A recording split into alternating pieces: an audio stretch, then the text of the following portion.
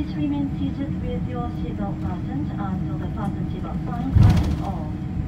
Be careful when opening the big compartments as items may have gone during landing and could fall out. Please check that you have not left anything behind on your seat or inside your seat pocket. It was a pleasure having you with us today. Thank you for flying with Scoot, a member of the Value Alliance. We look forward to welcoming you on board Scoot again. Thank you and good night.